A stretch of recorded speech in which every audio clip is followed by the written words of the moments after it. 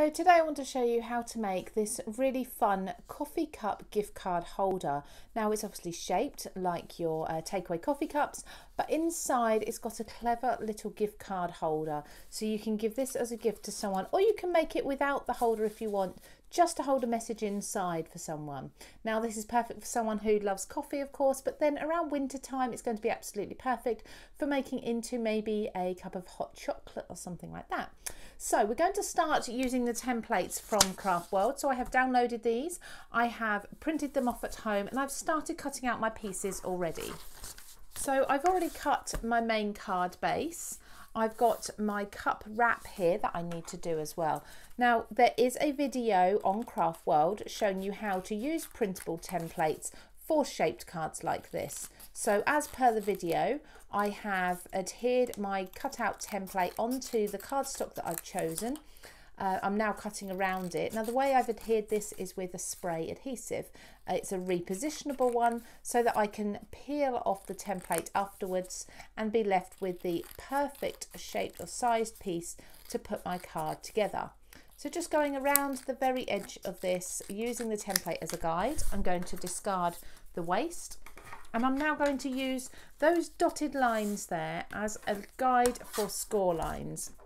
Now when the lines are at an angle like this, so you can't butt your card up to the edge there and get a perfect straight line, the best way to I find to do it is to use the very edge of your scoreboard, the last score line, and use this as a marker at the top and at the bottom of your score line and go through with your scoring tool through the template and into the cardstock underneath.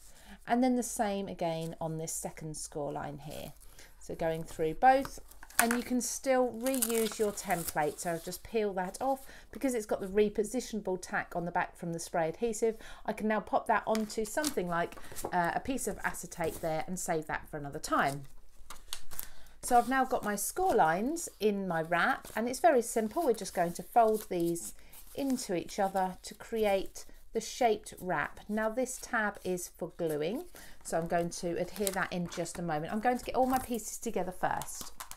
So I've got my card wrap from a, this is actually a thin, very thin chipboard. So it was a piece of packaging that I've used for this. I like that sort of cardboard look, um, that sort of recyclable paper that you would often get as a wrap around a coffee cup. I've got an ivory cardstock here for the actual cup itself. Um, I've then got the gift card holder. So this I've used a coloured piece of cardstock. I've cut around the edge, but I still need to cut this thumbnail in. So I'm just going to do that um, just by, or thumb notch, I believe they call these, when you've got a small semicircle like this. And I'm just using a craft knife and I'm going in where the line is on a self-adhesive, uh, self-healing mat, sorry, just making sure I go through the cardstock. Now before I remove my template I'm going to check that I have cut all the way through there and that's just created that little lip for our gift card to sit into. So now again just removing my template and putting that to the side. So I've now got my little notch there to be able to tuck my card into. Now on top of that, there isn't a template for this, but I've just measured it myself, a small panel of cardstock that will mat onto there. And then I've got two more pieces and these make up the lid. Okay, now these are two pieces because it makes it dimensional. As you can see here, you've got the lip of the lid as well as the center.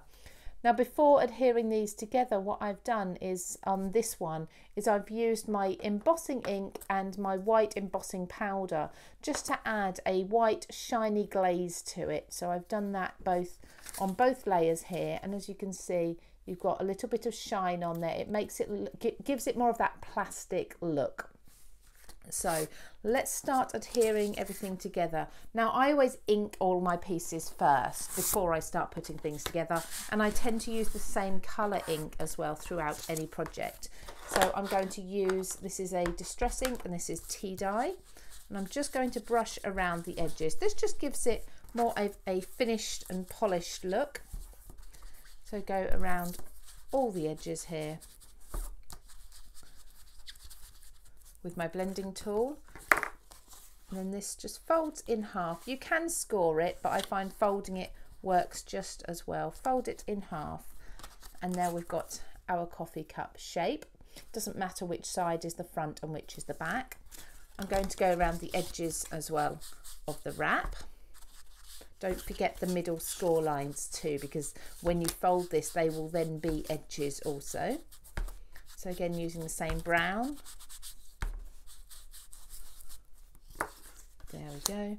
And then the same again with my gift card holder. Now I'm not worrying about the lid here because that's going to be covered over with the white. But just brush around the edges there. Okay. So now let's start adhering things together. Just use a, a wet glue so you don't have any dimension for the patterned piece in the middle.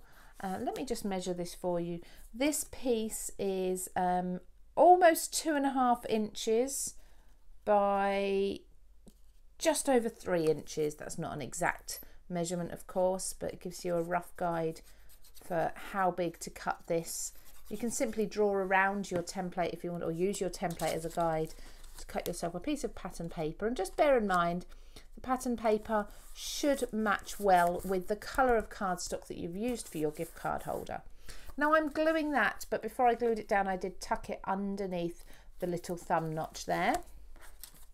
Then I'm going to glue down the first layer, the largest layer of my lid, over the top of this here. There we go. And I'm just going to trim again around the edge just to neaten up where I've got slightly, I've slightly gone over the edge there with some of my cutting around my templates. I wasn't very accurate with that, but I can neaten that up now. There we go. And now this piece I'm going to add on with some foam tape rather than using a wet glue for this because I want it to stand out. I want it to be sort of lifted up to show that it's dimensional. So just one line of foam tape across the base there.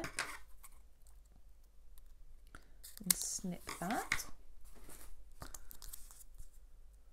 Peel off the backing. If I can just get my thumbnail underneath there and pop this onto there. Okay, now for the actual base, we don't do any gluing on this part. We can leave that completely free. You can glue the edges if you want to, but it would have to be a tiny amount just at the top the wrap is going to hold everything together for you.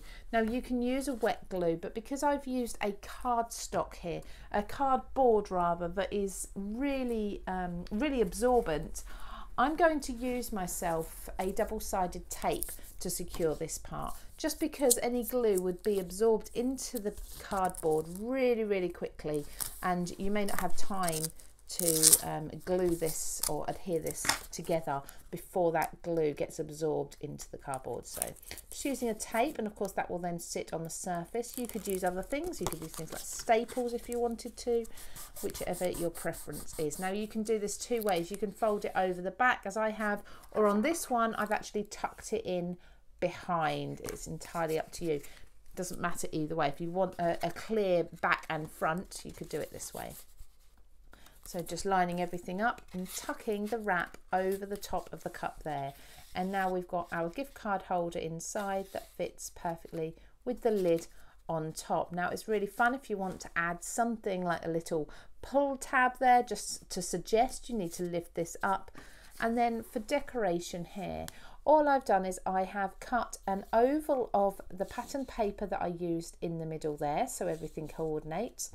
I've cut myself a sentiment from white that matches the lid and I've cut myself a little lacy border from a die that I had. I believe it was um, everyday journaling um, die that I had and I've cut this from the same blue as I used for the gift card holder so it's all matching in there so that just makes yourself a really fun gift card holder for anybody who loves their takeaway hot drinks.